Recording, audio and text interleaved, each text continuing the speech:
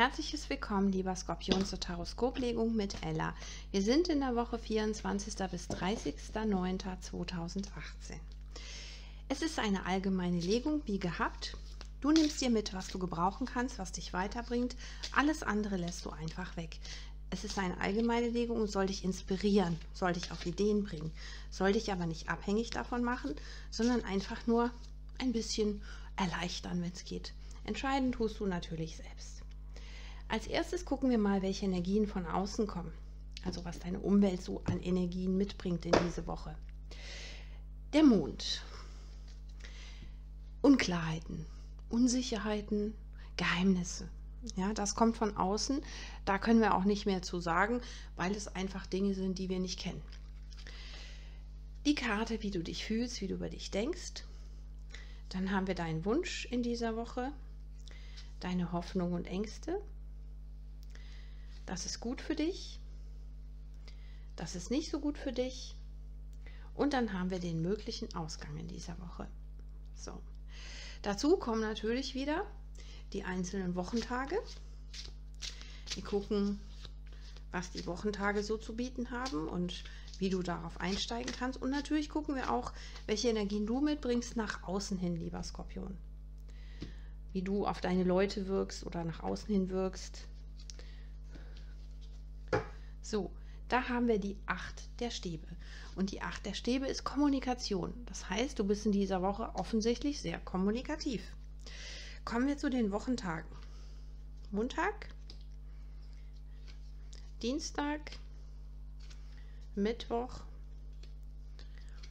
Donnerstag, Freitag, Samstag und der Sonntag. Als erstes gucken wir natürlich nach den Energien, die du jetzt so hast, wie du dich fühlst, wie du über dich denkst. Und wir haben die zwei der Schwerter. Das heißt, du möchtest irgendwie gewisse Entscheidungen nicht treffen oder du hast so ein bisschen den Schutzwall um dich herum aufgebaut. Ja, so ein bisschen, hm, Vorsicht. Das muss nicht schlecht sein. Gucken wir mal. Was ist dein Wunsch in dieser Woche? König der Stäbe, das ist eine feurige Energie, das ist ein sogenannter Goalgetter, also jemand, der seinem Ziel hinterherhechelt, mit sehr viel Energie, mit sehr viel Leidenschaft und du wünschst dir auch so eine Energie, beziehungsweise möchtest du auch die Ziele so erreichen. Das ist ein schöner Wunsch. Deine Hoffnung und Ängste. Königin der Münzen. Das ist erdgebundene Energie und ähm, bedeutet, dass du Sicherheit, Stabilität suchst, dass du ja dich einfach auch sicher fühlen möchtest, klar. Und natürlich auch finanziell abgesichert sein möchtest. Und das ist deine Hoffnung. Du arbeitest dafür. Du kämpfst dafür.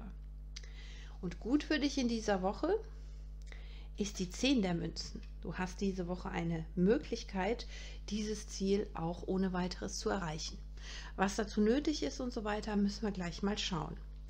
Kommen wir zu dem, was in dieser Woche nicht so gut ist für dich. Da haben wir den Prinz der Schwerter. Das könnte ein Luftzeichen sein, also ähm, Wassermann, Waage oder Zwilling. Kann aber auch eine Energie sein, die du mitbringst. Also rein zu rauschen wie der Elefant im Porzellanladen, das wäre nicht gut. Ja, das steht ja auch auf der Position nicht gut für dich. Ja, also wenn du irgendetwas mit Brachialgewalt versuchst zu erreichen, äh, äh, funktioniert nicht. Wird dir eher noch Hindernisse in den Weg stellen. Ich weiß, dass der Skorpion trotzdem weitermachen würde, aber es ist halt diese Woche nicht angebracht und du kannst einen größeren Erfolg erzielen, wenn du das sein lässt. So, dann haben wir den möglichen Ausgang in dieser Woche und wir haben die vier der Schwerter. Und das bedeutet Ruhe. Du musst dir Ruhe gönnen. Relax, entspann dich. Ähm, du musst einfach mal die Dinge laufen lassen, wie sie sind. Hier bei den Geheimnissen kannst du sowieso nichts machen, aber du kannst kommunizieren. Du kannst mit anderen kommunizieren. Gucken wir jetzt mal, was die Wochentage zu beten haben. Der Montag. Sieben der Kelche. Ein großes Maß an Angeboten, ob privat oder geschäftlich, müssen wir gleich mal gucken. Jedenfalls ein Überangebot, was verwirrend ist für dich. Vielleicht ungewohnt und äh, neu. Ja, deswegen entspann dich, überleg dir, was du davon tatsächlich möchtest und dann entscheide dich, weil alle sieben Angebote wirst du nicht erhalten können. Ja, es wird nur ein Kelch zur Verfügung stehen. Am Dienstag, da haben wir die Liebenden. Es geht um Beziehung oder eine Entscheidung in der Liebe. Möglicherweise verliebst du dich am Dienstag. Es kann aber auch sein, dass in der Partnerschaft die Beziehung eine, ich sag mal, Veränderung erhält. Was weiß ich, ihr verlobt euch, ihr äh, habt einen Kinderwunsch. Also es gibt irgendeine Steigerung in Sachen Liebe am Dienstag. Sehr schön. Am Mittwoch, da haben wir den Stern. Das ist die Hoffnungskarte, das ist der Wassermann, das ist ähm, ja auch eine Karte, die dich auffordert, nach den Sternen zu greifen. Ja? Wir haben ja ein Wassermann oder ein Wasserzeichen, zumindest äh, nicht Wasserzeichen, ein Luftzeichen hier. Könnte diese Person sein, ähm, ist aber auch das Prinzip Hoffnung. Ja? Müssen wir gleich nochmal näher drauf eingehen, gucken, wie das in dem Zusammenhang zu sehen ist. Wir haben jetzt den Donnerstag. Am Donnerstag haben wir den Gehängten. Das bedeutet Stillstand, Stagnation. Bedeutet aber auch, du hast die Möglichkeit, die Dinge, die du bisher gemacht und getan hast oder die du bedenkt, äh, bedacht hast, nochmal in Ruhe zu überdenken und die Perspektive zu wechseln. Also vielleicht die Betroffenen, die da von dieser Veränderung vielleicht mit betroffen sind, zu überdenken, wie es denen geht oder deinem Gegenüber, wenn du einen Vertrag abschließt oder irgendwas in der Richtung. Kommen wir zum Freitag. Wir haben den Page der Stäbe. Das ist eine jugendliche, feurige, also auch leidenschaftliche Energie, Kreativität. Vielleicht bist du am Freitag einfach sehr kreativ oder hast etwas gefunden, was deine kreative Ader weckt und dem du nachgehen möchtest, weil dieser Page der Stäbe ist auch sehr fokussiert auf diese Sache. So, dann gucken wir mal, was am Samstag los ist. Das Ass der Stäbe. Also ich glaube, das ist eine sehr leidenschaftliche Woche für dich. Das ist auch eine, ein Phallus-Symbol, bedeutet natürlich körperliche Liebe oder etwas, was du mit Leidenschaft verfolgst, lieber Skorpion. Gucken wir gleich mal. Der Sonntag, sieben der Münzen. Du hast Dinge in, auf den Weg gebracht. Du wartest jetzt darauf, dass deine Bäume Früchte tragen und du sie abernten kannst. Das ist mit Geduld verbunden. Das heißt, heute oder morgen wird das nicht passieren, aber in den nächsten Wochen. Also du kannst zumindest darauf hoffen, dass da etwas kommt, was für dich profitabel ist. Was für dich, ich sag mal, Früchte trägt, was sich entwickelt. Kann auch die Beziehung sein, zum Beispiel. Ne? Gucken wir mal, was haben wir denn da?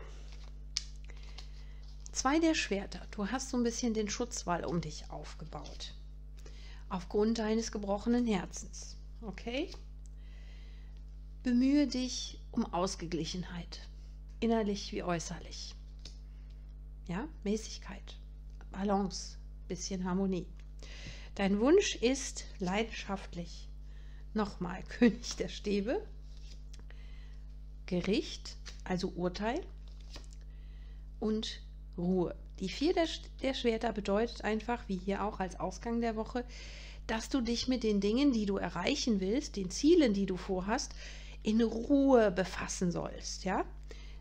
Dein Urteil solltest du erst nach dieser Ruhephase treffen, ja?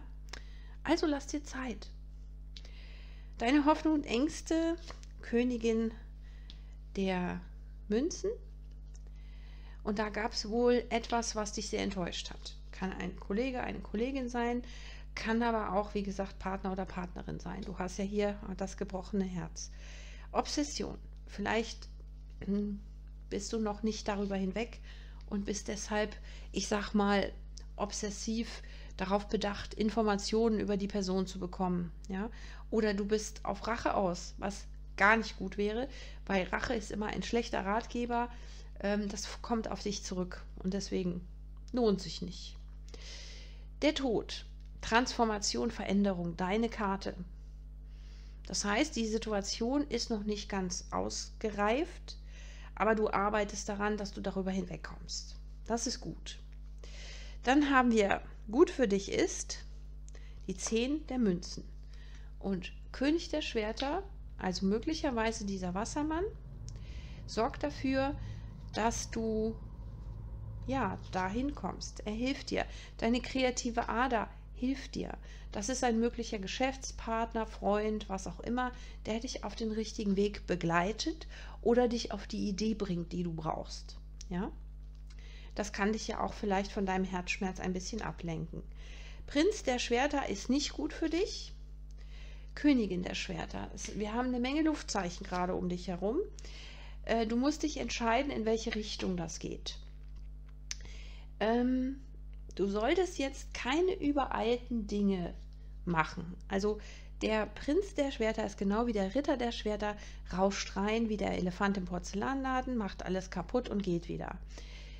Die Königin der Schwerter ist schon ein bisschen, ich sag mal, erwachsener, weiß, was los ist, schneidet die alten Zöpfe ab, was nicht mehr geht, was nicht mehr gut ist. Das ist die bessere Alternative und wählt dann den richtigen Weg, ohne irgendwo reinzurauschen.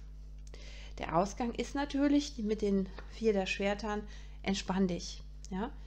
Versuche Ruhe zu finden, versuche zu überdenken, was deine Leidenschaft weckt, verfolge sie auch, gehe ran, äh, lasse dem auch eine Aktion folgen, also dass du dich darum bemühst, diese Dinge, die dir Freude machen und die dich weiterbringen, zu verfolgen. Aber achte darauf, dass du es nicht übertreibst und dass die Leidenschaft nicht verloren geht. Denn der Ritter der Stäbe ist halt jemand, der mit viel Leidenschaft beginnt und dann das Interesse verliert. Also bitte, ja, versuche dich gemäßigt an die Dinge zu begeben, die Dinge zu tun und ne möglichst nicht die Leidenschaft dafür zu verlieren. Jetzt hast du am Montag schon eine Menge Angebote, Möglichkeiten, die sich dir bieten und du suchst natürlich Sicherheit und Stabilität, was dir den meisten Profit bringt, aber du fühlst dich auch so ein bisschen ausgegrenzt oder ziehst dich auch selber ein bisschen zurück. Aufgrund des Herzschmerzes kann ich das auch verstehen. Jetzt hast du am Dienstag vielleicht eine Begegnung in der Liebe oder du hast jemanden getroffen, der deine Gefühle erweckt und du machst dich auf den Weg auf den Weg zu dieser Person. Also du bewegst dich mental auch dorthin. Damit geht auch dein Schmerz zurück, aber du solltest dich nicht zu schnell in etwas stürzen. Dann haben wir am Mittwoch möglicherweise einen Wassermann, auf jeden Fall die Hoffnungskarte auf etwas vielleicht Neues, da nach den Sternen greifen, aber du kreist in deinem Kopf. Mit der neuen der Schwerter machst du dir zu viele Gedanken. Ja? auch über die vielen Angebote. Du bist völlig verwirrt. Ja? Also entscheide jetzt noch nichts. Mittwoch, jetzt. Nichts entscheiden erstmal. Du bist am Donnerstag auch noch in diesem Käfig sozusagen gefangen, bekommst ein liebevolles Angebot und wieder den Stern. Ich glaube, es hat was mit einem Wassermann zu tun. Ja, jemand macht dir wirklich ein liebevolles Angebot, aber lass dir trotzdem Zeit. Solange der Schmerz aus einer alten Beziehung oder Enttäuschung, kann ja auch ein Freund gewesen sein, der dich enttäuscht hat, noch nicht überwunden ist, sich dann in eine neue Beziehung zu stürzen, wäre nicht so gut. Freitag haben wir ja diese Idee und da gibt es was zu feiern. Das scheint erfolgreich zu werden und du eroberst dir neue Horizonte. Ja, also bis Mittwoch keine konkreten Entscheidungen treffen.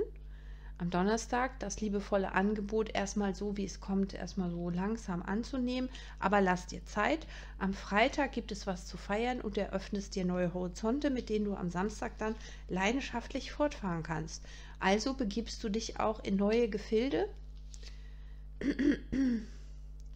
Und da hast du wieder diese zwei der Schwerter, dass du die Entscheidung nicht treffen willst aber deine Gefühle hast du im Griff.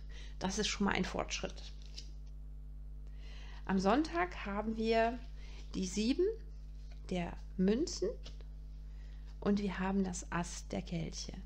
Damit das, was du dir da, ich sag mal, langsam erarbeitest mit der Person, die auf dich zukommt, wird auf jeden Fall sehr erfolgreich, fair, also in Balance liegen und du wirst da dich sehr wohl fühlen. Du hast da einen Erfolg errungen, der dich wieder zufriedener macht. Also rundum eine positiv ausgehende Geschichte.